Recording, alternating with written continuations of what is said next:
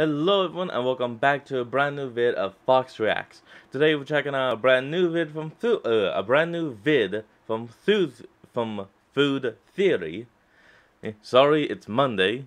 Eh, about how someone is stealing our food. Let's hop in and see just who is behind this heinous act.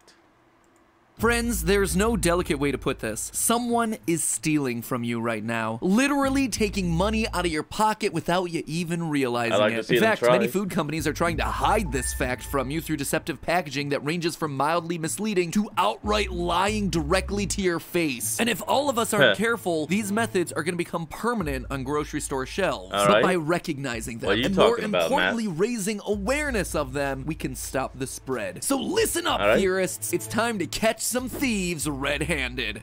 Or dust-handed. Nope, that didn't work. I should have said uh, rust-handed. Oh, that would have been good. Rust-handed. Because it's a blend of dust. Yeah, that makes sense. I should have done that. Internet. Welcome to Food Theory, where today it's WOGO Day. Watch Wogo? one, get one free. Watch this oh, okay. video about how the food on grocery store shelves are trying to cheat you out That's of your money, and then you get this free episode thrown in about how the grocery stores themselves are trying to cheat you out of money for no extra charge. in a world where oh, everyone's oh, yeah. trying to squeeze every last channel. buck out of your wallet, some free online entertainment is pretty much the best deal that you're gonna get. So yes, according to reports from March, inflation in the US is higher now than it's been at any point in the past past 40 years. Like it or not, things are getting more expensive, Damn. and that sucks. But you know what yes, sucks more? When the prices oh, don't go up. Now, that might seem counterintuitive, Wait, but let me explain. What? You see, some companies in the food space have figured out a sneaky way to cash in without raising their prices. It's an oh. insidious trick hey, known as shrinkflation. A trick where you pay the same old price that you always have, but you end up getting a smaller product without ever realizing it. And it's the oh. long-term effects of this that make it all the more dangerous. Yeah, One of my favorite demonstrations sense, of this came on late night TV back in 2007 hmm. when BJ Novak of The Office noticed that Cadbury eggs seemed to be getting smaller. I buy my Cadbury eggs this year. They feel smaller than they used to be. Something is small. I look through all the cabinets in my house. I find a Cadbury cream egg from a couple okay. years ago and I brought it. This is this year's egg. Yes. This is the egg. It is oh, smaller. Look at that. Look at that. Judge for yourself, America. So Whoa, there you have like it. Smoking gun, clear as crystal. The eggs were getting smaller, but the most outlandish part of the whole. Thing. Okay, definitely not a half inch. Probably only uh, a couple centimeters, but still smaller. The story is that Cadbury actually tried to deny that this is what they were doing. You go to the main Cadbury website. Mm -hmm. It says on the front page, no, they have not gotten smaller. You've gotten bigger. They were literally oh, gaslighting really? anyone who noticed the trend. Really? It's not us. Really, it's Cadbury? You, lol. That was a ballsy move there, oh. Cadbury. Ballsy move. Of course, they knew they couldn't keep getting away with it after being publicly called out, so they changed their about page on the website from this archived version. Why okay. the size of the eggs changed? It hasn't. You just grew up. To this quote: "Since people's preferences vary from market to market, so do our products." Basically, an explanation that amounts to yeah, we okay. made the eggs smaller and we thought we could get away with it by lying to you until we were called called out on national TV. This, called my friends, out. is shrinkflation. Products becoming smaller over time to give you less bang for your buck, all while keeping you nice in the dark try. about it. You might think that this is just a crazy one-off example, but it's happening everywhere. Case in point, this is what a Doritos bag looked like several years ago, mm. and this is what it looks like in 2022. Notice anything different? No? Well, uh, that's kind of the point. But if you zoom in and enhance, and enhance there down in the corner, the oh, old yeah. bag has a net, net weight of weight. 9 and 3 quarters ounces, or 276.4 mm. Grams. The new bag has a net weight of 9 and 1 quarter ounces, or 262 They took grams. half an That's ounce a difference from us, of around the 5 chips per bag, and yet we're still paying the same price. Same cost, less product. Earlier this year, Frito-Lay was actually confronted about it, and they explained chips. by saying, quote, inflation's hitting everyone. We took a little bit out of the bag so we can give you the same price and you can keep enjoying your chips. Wow, thanks there, Frito-Lay. Really yeah, doing us great. a solid by giving us less chips for the same price. Now, their nice explanation job, on the surface would seem to make sense. In the US, inflation levels are now at a record high, climbing above 8% in the past few months, higher than they've been great. at any point in my lifetime. Just Everything is getting more great. expensive, and that's gonna affect everyone, including the food manufacturers. If Doritos is paying more hmm. for the ingredients that go into the chips, then they have two options. They can charge hmm. more money for the same product, or they can charge the same amount of money for, less, less product. It seems like a fair position for them to take. Uh, I do have to agree for as well. I mean, and it is kind of an interesting concept. And either you get the same amount, but you have to pay more for it, or you get less of what you're looking for, but you pay the same. It really is a conundrum.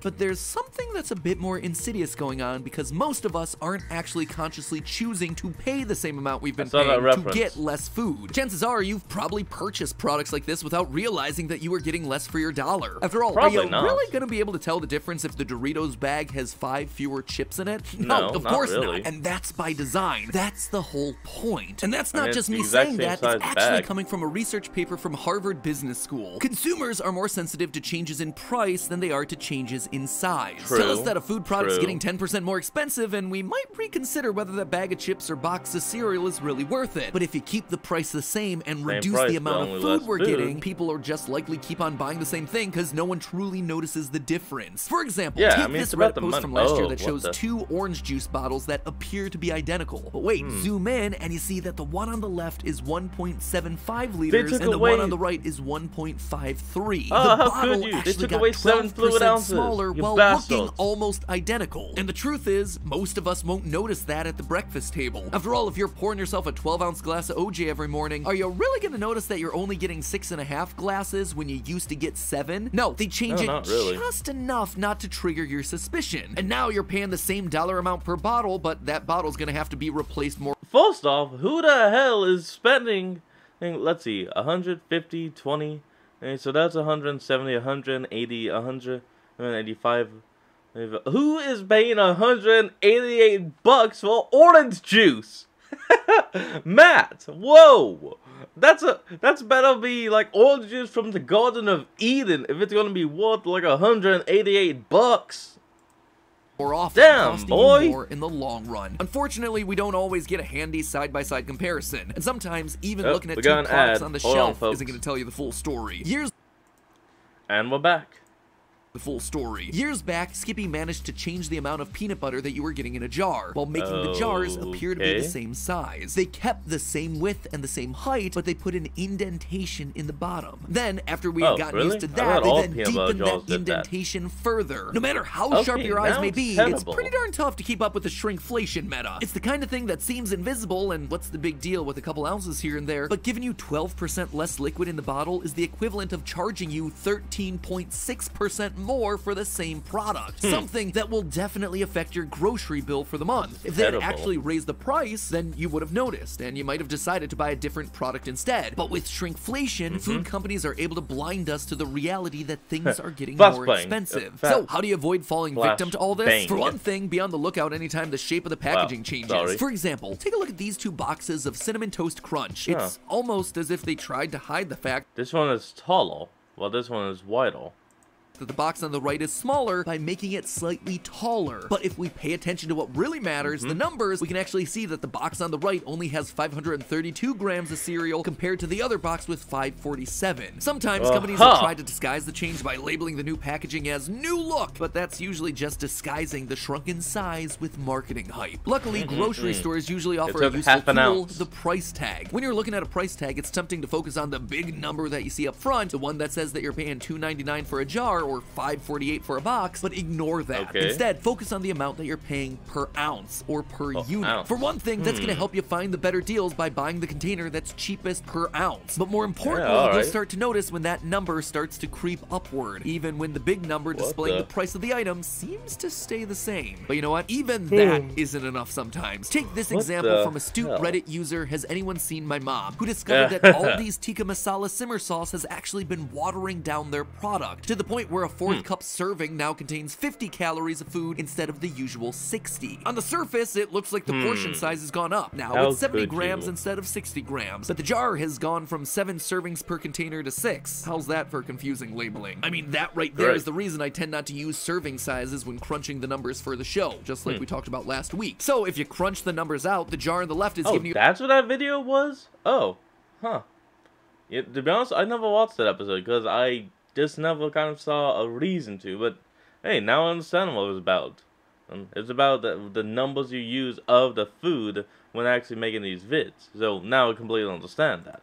Around 7 yeah, servings at 60 calories or 420 calories worth of food, while the nice. jar on the right is giving you 6 servings at 50 calories or 300 calories worth of food. A whopping 29% hmm. less food despite the fact that the jar actually looks taller due to all the water that they just added. And we Ugh, know for a fact you? that they're watering it down. You can tell that they just added water because the ingredients list has to list them in order of quantity. Oh, and the that. jar on the left water. lists tomato as the first ingredient, while the jar on the right lists water as first, ahead of tomato, uh, for what was supposed to be the same product. But hey, who's you? actually gonna go and read the fine print, right? Business practices like these are why consumer watchdog groups are so important. One of my watchdog favorites group. is mouseprint.org, which is oh, full of all kinds of examples showing how Sun-Maid raisins, which used to be 22.5 ounces in a container, now gives you 20 ounces eh, of dried fruit. How bars of soap have gotten 20% smaller. The best, though, are the toilet paper examples, which is like Sorry? doing algebra on steroids. One mega roll equals four regular rolls, and each of those regular rolls is two ply, so how much toilet paper are you really getting? Well, doesn't hmm. matter. Any way you slice it, it's less across the board. We're going yeah. from 264 sheets to 244. It's enough to overwhelm oh, you. And you see, that's the point. The other mega point, though, is that the more. sizes never go back up. It'd be one thing to shrink products in order to reduce costs during times when expenses are high, like yeah. now when the food industry is still recovering from production shortages, but yeah. the problem is they never bounce back. There is never a return to normalcy. I mean, why would there be? Come if you on, have no why? problem paying the same amount for less product and you don't notice it, why should they suddenly make the sizes bigger again? Instead, they stay Ugh. small. They settle into a new normal before, hey, you know what, it's time to shrink again. Take, ah, for instance, the toilet paper less. example that I just talked about. Consumer Reports has been tracking the information on toilet paper brands since 2009, Wait, only to find would... that the sheets have been getting smaller and smaller, while the rolls have been getting shorter and shorter, reducing the amount of paper that Whatever. you're getting by over 20%. Again, you are getting 20% less product than what you were paying for a few years prior, Damn. and there is nothing that you can do to stop it. Or is there? You see, the answer is to not let them get away with it. When you see packaging getting smaller to hide the fact that the products are getting more expensive, call companies out on social media. At a minimum, you'll be informing your fellow consumers, and if companies actually start to face significant backlash for it, it'll force them to start being more honest in their business practices. Public shaming has been proven to work when it comes to shrinkflation. Mondelez is the owner of Toblerone, and back in 2014, they reduced the weight of their bars by 25%. Mm. Literally a fourth of the product disappeared by that. adding more space between each piece. But then the public started to call them out on it, and they reversed the decision two years later. So it can be done. That, my friends, is why this is one of those instances when hashtag activism can actually make a difference. The, the reason companies have gotten away with this for so long is that we've been in the dark about listen. what's really happening. But now there are whole subreddits dedicated to tracking these sorts of product changes. So stay nice. informed, share that information with others, and call out the businesses that you see doing this, this with their shiny new packaging. If not, the products aren't going to be the only thing shrinking. Your wallet will as well. But hey, that's just a theory. A food theory. Bon appetit.